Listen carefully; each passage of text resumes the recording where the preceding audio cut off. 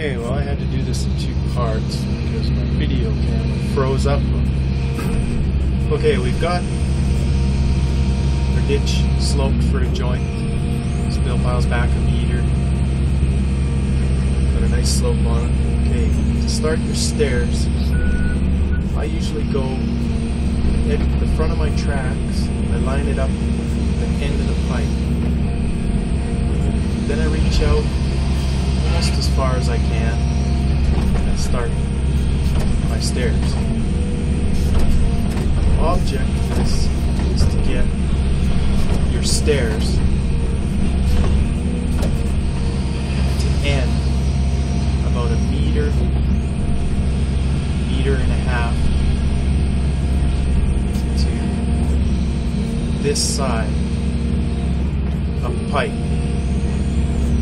That way, um, when your stairs end, it's a little wider yet on that side. It's keyed out. So, see it?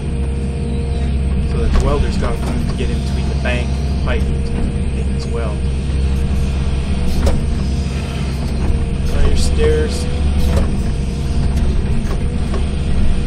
Some people I've seen, they just leave this wall straight up and down over the stairs, but that doesn't really leave a safe edge.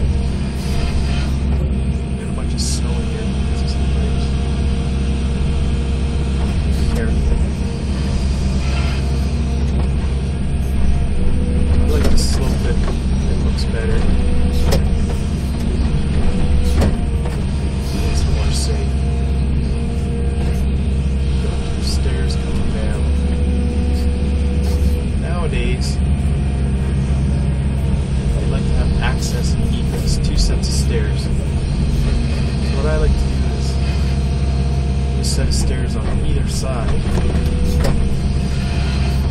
Ones on the far side I don't make quite as fancy because they never get used anyways.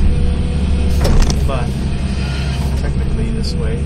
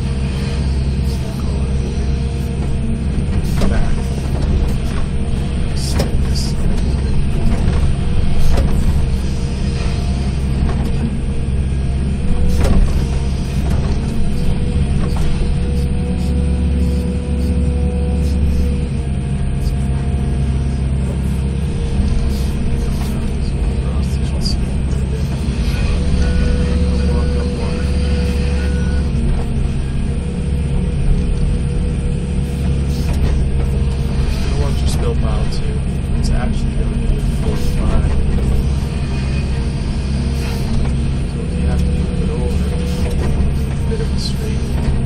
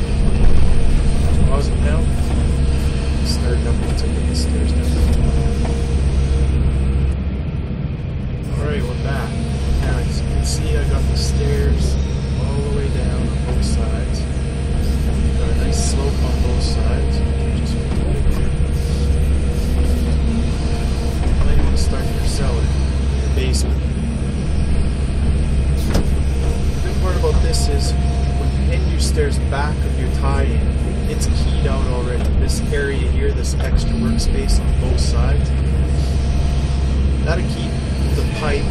Say the pipe is in the clamps here and it slipped out, or the boom boomed in by accident or something. The pipe will slam up against the bank, and if the welder's in this area, he won't get crushed because it'll be stopped by the bank behind. That's the whole idea of keying out a belt.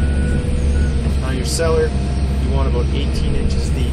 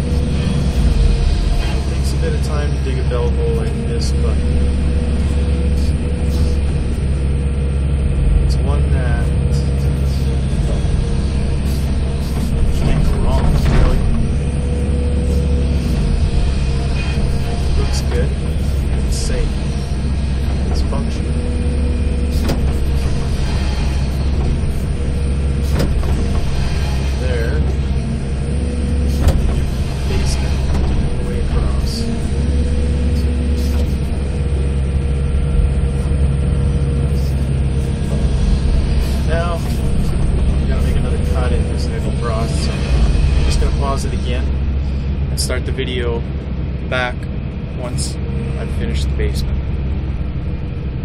Okay, back, just finishing up the back side, the basement.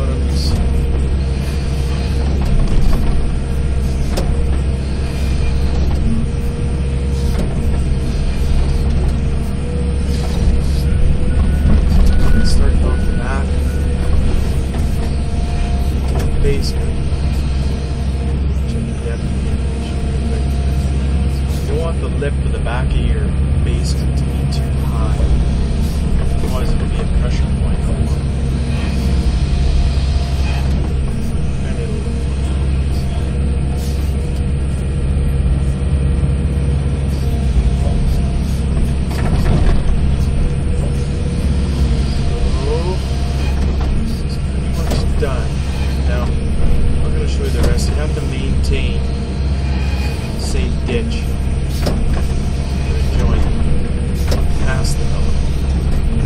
That safe ditch either way of. So that's basically how to dig a bell.